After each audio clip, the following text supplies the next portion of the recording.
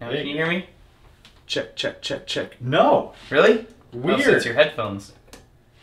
They're they're not headphones. They're dead phones. I don't know where to go.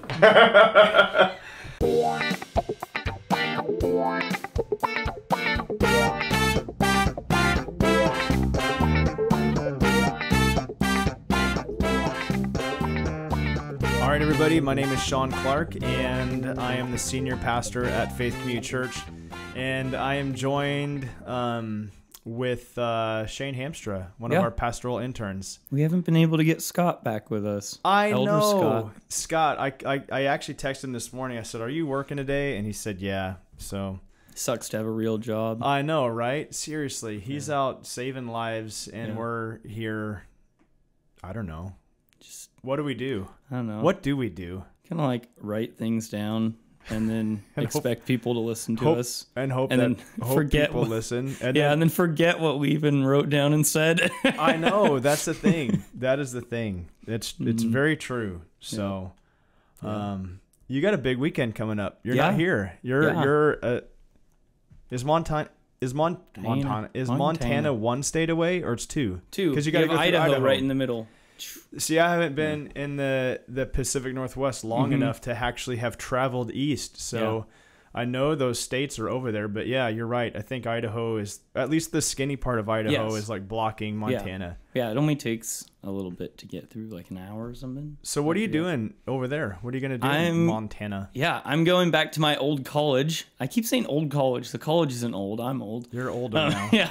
Yeah. that I went to three years ago, and they have a youth retreat for kids in the community, and it's just a retreat weekend, and I get to be the speaker there. You're the speaker. I'm super excited for that. And people are all gonna forget what you said. Exactly. Yeah. Honestly, So yeah. you come back and Hopefully, you- there's. Yeah, I isn't the goal that you hope people remember at least like one thing out of all the things that you say. Like this is the one thing. Okay, everyone, you've had your ears off. Turn your ears on. Now listen. Yeah, I think that's it. You know, it was interesting. This last week was Snow Blast for junior high, right? And I think the pulpit. Did you see what was on the pulpit at Sunlight Church? No, I didn't. I think the phrase said, I was like, whoa. Um, it said, it said, preach the gospel, then die, then be forgotten, or Mm. something like that. I'm Yeah. like, that's, I think that's a quote. That was I- a quote well, from it, someone. it's definitely a quote. Well, it is. At Yeah, least right. it's on, it's, but I was like, that's an intense message, you know, to Mhm. see every time you get up on Sunday. So Yeah. that's, it's good. Yeah. So preach the gospel, die, then be forgotten. I Yeah. think of something like that. So. Well, like John Piper was talking about reading books, and he's like, "It's a really good book for me if there's like one big thing that sticks out to me from it." Yeah, just take a sentence away from it. Yeah, exactly. Yeah, Otherwise, yeah. you don't remember everything. So, anyway, We used to always go to book sales um, in the Chicagoland area, and you could get it was like us and the pastoral staff, and then all, of us interns, and we would just we'd camp out like an hour or two before these book sales, and then we would just flood the religion section because you could get like great books for like fifty cents to a dollar. Mhm. So you just pile in your bag or box of all these books, and then we'd come back together and kind of exchange them. And one of our senior pastors that I used to serve under said, you know, when I was debating on whether or not I'd buy the book, he said, "Do you think you're going to get 50 cents worth of knowledge out of that book?" And of course, you're like, "Yeah, probably." So that's how I, you know, Yeah. got a lot of books. And Yeah. then, and then I was like, I don't know if I ever did get 50 cents out of some of them. Yeah. I just, you know, I was like, now I have way too. it's like they, they look cool, I guess, but yeah, it Um, reminds me of the last session when I was at Shepherd's Conference and John MacArthur's speaking, and they like finally opened the doors an hour and a half before, and here's like all these pastors who have been like you know really well behaved, and they just they're like running like full bore to get 20 feet closer to John MacArthur. there you go. You're Like that's like you guys in the J. Mac in yeah, the rising pulpit. I remember the first time I saw that thing emerge. yeah, it That's just the- comes yeah. up. We don't have one of those. No. And our pulpit doesn't say preach the gospel, die, be forgotten. Yeah, We just have the, the are we plain, even a church? I know. just the plain Jane Yeah. pulpit. I, I think our pulpit is adjustable though. Yeah, Oh, There's there's it? little Like, things in there. down? Yeah, I've never. Cool. Yeah. And people leave stuff in the pulpit sometimes. Yeah. There's like all those like little origami Yeah, things. I don't know. who actually looked those. for my headphones in there, so I was like, there? I can't find my headphones anywhere. I'm like, you know, getting desperate. Right. You never know. You never Yeah. know where they might end up. Eh, Okay, so review. review. yeah, We talked in um, Mark 4 this week about the parable of the They're the sower who sowed seeds Mhm. on four different soils. Yeah. So, any, I mean, very popular, right? Yeah. It's maybe one of the most popular parables that Jesus used to teach on the kingdom of God. Mhm. Um, I showed a picture of a graphic at my former college, my Yeah. old college Yeah. at Moody Bible Institute. And if you walk in, the arches there in one of the old buildings behind the reception desk is the picture of a stained glass, beautiful rendition of the sower sowing seed. Mhm. And so, what do you? I mean, I don't. I, I can recap the message, but anything Yeah. that you see, anything that you have your little notebook there. I don't Yeah, know no. anything down that was good or. I thought it was think? interesting how you kind of took it out of order a little bit, where it's like we're going to start with this connector between the story and then Jesus explaining it, Yeah. where Jesus is saying like having eyes they do not see, having ears they do not hear. Yeah. And it's not like Jesus is just like "Ah, I'm being tricky. Yeah. it's yeah. like no, like I'm telling them clear truth, but they just don't like their hearts are hearts are so hard they just Right. don't want to get it. Yeah, so the way that the way that Matthew tells the story, like he opens it up with two verses of like it- how he how Jesus is going to start teaching in parables. He tells the parable, then he then it's like he fast forwards um, to a future point in time where Jesus is alone with the twelve, with other people that are with him, and he's explaining the parable. Then he goes back and explains the parable. So it's kind of like a weird sequencing that Mark does. But the, that center part there, verses ten through twelve, is just kind of the what I called the seemingly off-putting part, where it just it just seems like on the surface of things, it seems like Jesus is being very stingy.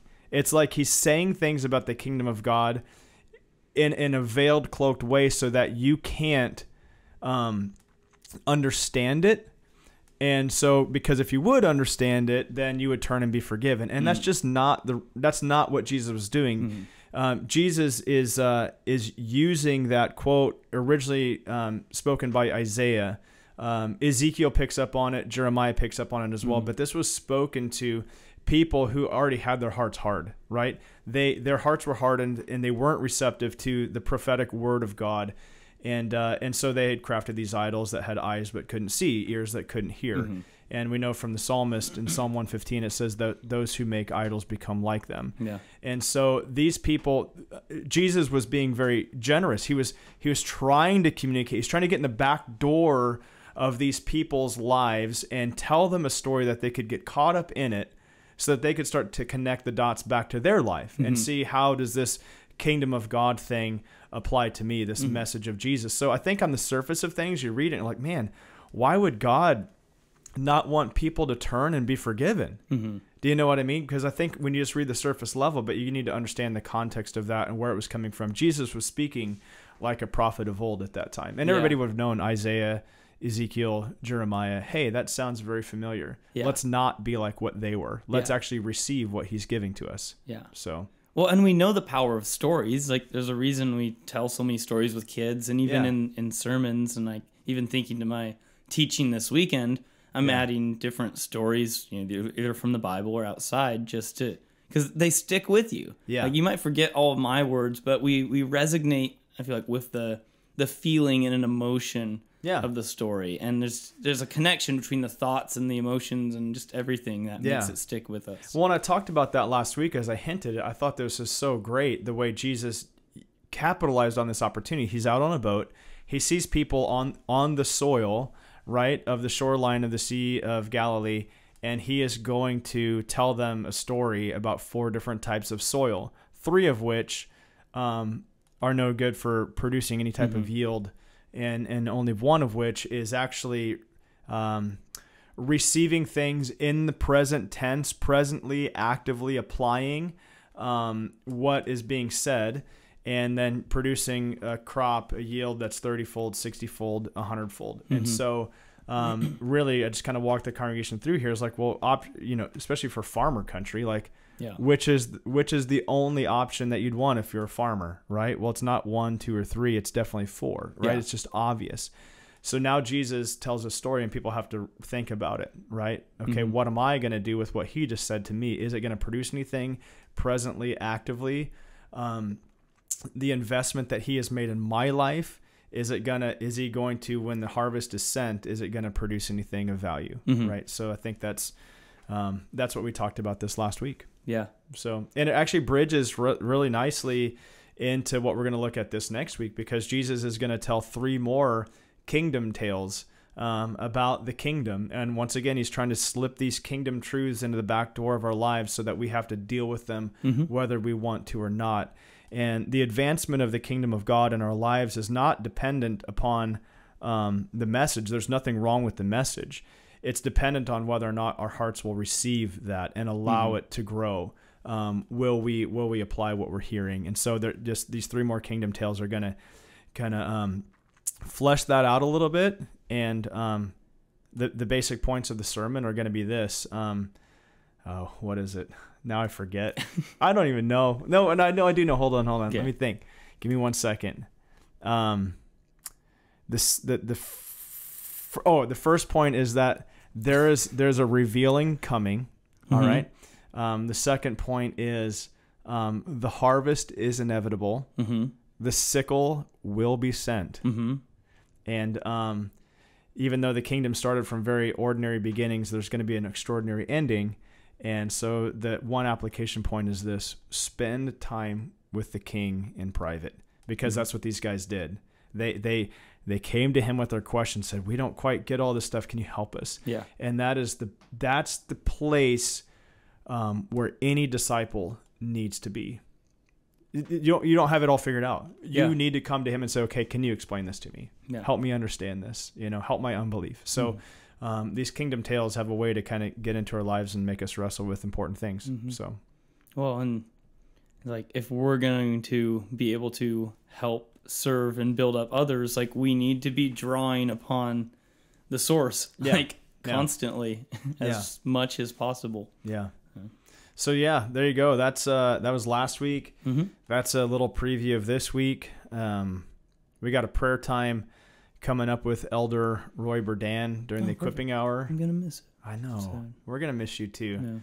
Yeah. I get to lead music in your Yes. place. Yeah, so you're doing like fun. you're doing double duty again. I know, a little double duty. And then uh, next week we have. Oh, yeah. Is this this Ne- Thursday? Th- this Thursday is the Seder. Yeah. But you can't sign up for that. That's Yeah. already we already we already maxed out like crazy maxed out on that. Oh. Good response. And That's then cool. um, we do have a Good Friday service next Friday night at 6:30 p.m. We're Mhm. gonna um, look into the the irony that um, the last moments of Jesus' freedom took place in a, in a serene garden setting, and um, you know the Bible starts in the garden. Um, in the middle, there's a garden. In the end, there's a garden. Mhm. So we're gonna kind of just briefly touch on those themes and uh, have a time of communion, and then obviously Resurrection Sunday. Man, Yeah. we're looking forward to that. We got a breakfast coming up Yeah. and uh, and then And we get to choir. engage choir singing, Yeah. and we get to preach, and kids are going to be in the service. It should be fun. So Mhm. a lot of great things happening at the FCC. Indeed. So anything else you want to say before you leave I don't think so. and go two states away? Yeah. When do you get back? I get back Monday afternoon. Okay. Yeah. Yeah. Is there anything that you're looking forward to, like f- food wise, experience wise, in Montana? Like, what's Montana known for besides cold mountains and stuff like that? Well, that's exactly where I'm going. Is a cold mountain. A cold So- mountain. Okay. I'm I'm really excited to go back and get to spend time with uh, three really close friends. Abe. Yes, Abe's gonna be there, and Peyton, who just had a baby, and Caleb. And I don't know if we're hanging out with anyone else, but I know those three. Yeah, you know Abe. I You've know. I barely know Abe, yeah. but he No. actually he was a silent partner with us. Yes. In um, Yeah. in review previews past. Yeah. That was fun. So Abe, Yeah. take care of this guy. I know Send he him- watched the last one. Send so. him back to us. Yeah. So So that, and then I get to hang out with my mentor Lowell, who was like a really big influence through my years of college as well. Good. So Awesome. it'll be fun. shout out to Lowell. Yeah. All right. We'll see you guys uh, on Sunday morning, unless you're coming to the Seder tomorrow night. Yes. So we'll see you guys. Bye. My headphones don't work.